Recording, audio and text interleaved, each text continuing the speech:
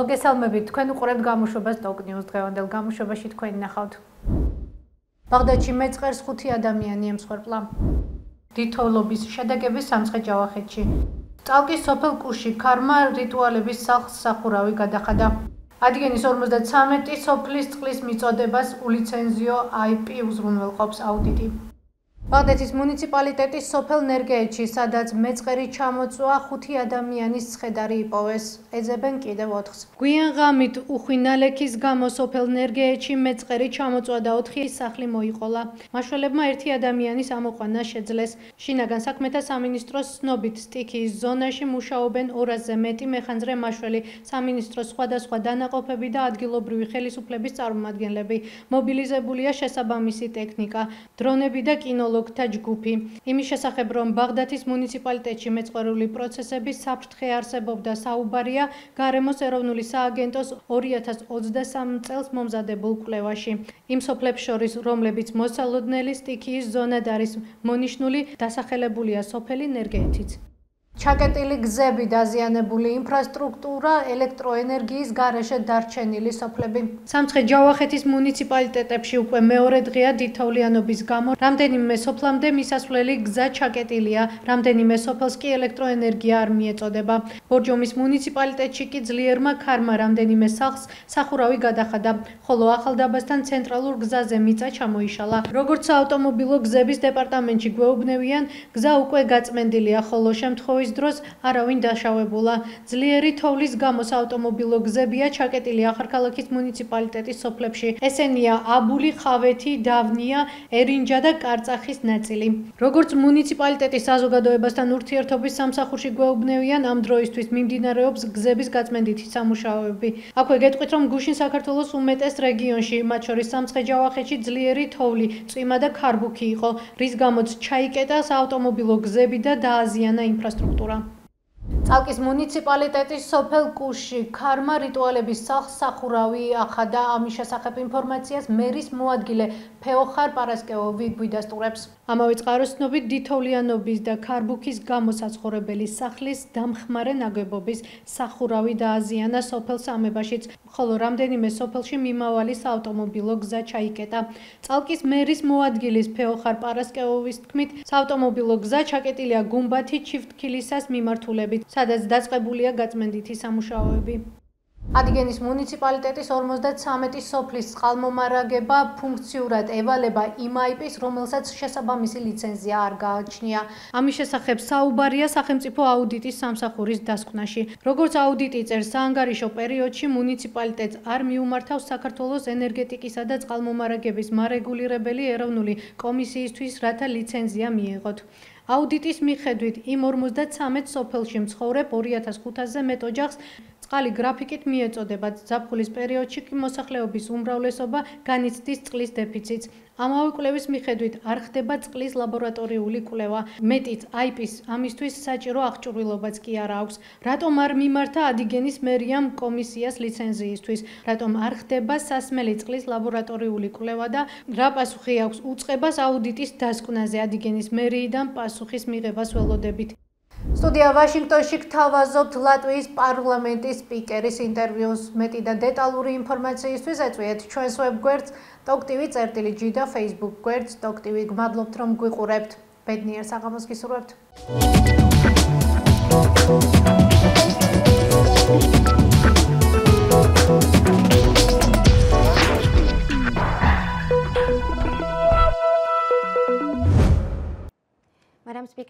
ქალბატონო სპიკერო, მადლობა ამერიკის ხმაში სტუმრობისთვის. ვაშინგტონს თქვენს ესტონელ და ლიეტუველ კოლეგებთან ერთად ეწვიეთ და ამერიკელ კანონმდებლებს შეხვდით. რა პრობლემები განიხილეთ მათთან და რის მოსმენა გსურდათ პასუხად?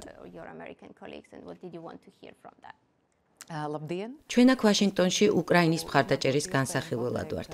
კიევის დახმარება მთელ მსოფლიოში მნიშვნელოვანი საკითხია ახლა, მაგრამ თუ მშვიდობის მიღწევა გსურს, ამისთვის უნდა გავაკეთოთ ყველაფერი, რაც შეგვიძლია. უკრაინას უნდა მივაწოდოთ ყველანაირი განსაკუთრებით კი სამხედრო დახმარება. უნდა გვესმოდეს, რომ ყოველდღე როცა ჩვენ მნიშვნელოვანი გადაწყვეტილების მიღებას ვაგვიანებთ, ბრძოლის ველზე ადამიანები იღუპებიან. ჩვენთვის ძალიან მნიშვნელოვანი იყო გადაგვეცა ჩვენი პირადი გამოცდილება, გაგვეზიარებინა ჩვენი ჩვენი ისტორიით ნასწავლი გაკვეთილები. ფიქრობთ მნიშვნელოვანია, რომ ეს გზავნილი ამერიკაშიც და მთელ მსოფლიოშიც ყველა ადამიანამდე მივიდეს. რუსეთის აგრესია თავისით არ შეჩერდება, ის თავისით არ დასრულდება. თუკი ჩვენ მას ახლა არ შევაჩერებთ, მომავალში უფრო დიდი საფასურის გადახდა მოგვიწევს. ამ დღეებში მოვისმინეთ შეფასება, რომ რუსეთს კიბოს ადარებენ, მაგრამ ჩვენ ვფიქრობთ, რომ ის კიბოზე უარესია. რუსეთის საცეცები მთელ მსოფლიოშია მიმოფანტული და ძალიან ბევრ ადგილს წვდება. რუსეთის მოქალაქეები ყველგან არიან და ავრცელებენ ქაოსს, არეულობას, ცდილობენ დემოკრატიებს დაესხან თავს. უკრაინის დახმარების საკითხი ამერიკაში შიდა პოლიტიკურ დებატებს დაუკავშირდა და საიმიგრაციო პოლიტიკის ცვლილების გარეშე მის დამტკიცებას რესპუბლიკელთა ნაწილი არ თანხმდება. გავრცელდა ცნობები, რომ თქვენთან შეხვედრისას პალატის რესპუბლიკელმა სპიკერმა დაუშვა ის ვარიანტი, რომ თეთრი სახლის მიერ შეთავაზებული პაკეტი შეიძლება გაიყოს და უკრაინის დახმარებასა და სასაზღვრო პოლიტიკას ცალ-ცალკე ეყაროს კენჭი. რა შეგიძლიათ გითხრათ ამ ცნობებზე? რას დაგპირდათ სპიკერი? რა მთავარი გზავნილებით დასრულდა თქვენი შეხვედრა? ეს საკითხი ნამდვილად განვიხილეთ, მაგრამ აუცილებლად უნდა გვესმოდეს, რომ ყველა ქვეყანას თავისი შიდა პოლიტიკური საკითხები აქვს, რაც ძალიან მნიშვნელოვანია და დღის წესრიგში წამყვანი ადგილი უკავია. დიახ, მოვისმინეთ, რომ არის საკითხის გადაწყვეტის განსხვავებული შესაძლებლობა, მაგრამ არ განგვიხილავს რა უნდა იყოს კონკრეტული გამოსავალი. ჩემი აზრით, ეს თქვენი პოლიტიკოსების გადასაწყვეტია, როგორ იპოვონ საუკეთესო გზა თქვენი ქვეყნისთვის. ვესაუბრეთ სენატორებს, კონგრესმენებს, მოვისმინეთ ბევრი განსხვავებული შეხედულება და წინწას გასვლის სხვადასხვა ვარიანტი, მაგრამ ამ განსხვავებული შეხედულებების მიუხედავად არსებობს ცალსახა საერთო აღქმა. გაგება იმისა, რომ ომი რაც შეიძლება მალე უნდა შევაჩეროთ და ეს ერთობლივად უნდა გავაკეთოთ. საქართველომ სულ ახლახან ევროკავშირის კანდიდატის სტატუსი მიიღო, თუმცა ევროპელმა ლიდერებმა ბოლო პერიოდში არაერთხელ გამოხატეს შეშფოთება ქვეყანაში დემოკრატიული პროცესების შესახებ. როგორ ფიქრობთ, რა მნიშვნელოვანი ნაბიჯები უნდა გადაიდგას მაშინ, როცა დასავლელი პარტნიორები თბილისისგან რეკომენდაციების შესრულებას ელიან? ქვეყანა კი საპარლამენტო არჩევნებისთვის ემზადება. უპირველესად გეტყვით, რომ ჩვენ მართლა ძალიან გვიხარია, რომ საქართველოს კანდიდატის სტატუსი მიიღო. კარგად გვახსოვს მომენტი, როცა ეს სტატუსი ლატვიამ მიიღო. თავდაპირველად ძალიან ბედნიერები ვიყავით, მაგრამ შემდეგ ამას მოხდა ჩვენი წევრობის მოსამზადებლად ძალიან, ძალიან ძიმე შრომისა და მუშაობის 10 წელი. ჩვენ უნდა გაგვეტარებინა რეფორმები, მართლმსაჯულების რეფორმები, ჯანდაცვის, უნდა შეგვეცვალა ჩვენი აზროვნება და ის თუ როგორ ვფიქრობდით ამა თუ იმ საკითხზე. პირადად მე მაშინ ტრანსპორტის სამინისტროში ვმუშაობდი და მახ ახსოვს, რომ ზოგს ეს სურდა, ზოგს არა.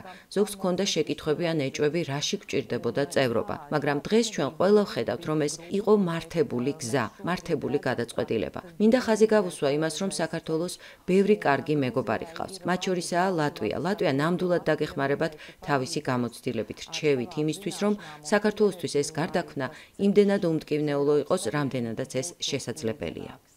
უკრაინაში რუსეთის სრულმასშტაბიანი შეჭრის შემდეგ საქართველოსი გახშირდა ანტიდასალური განცხადებები.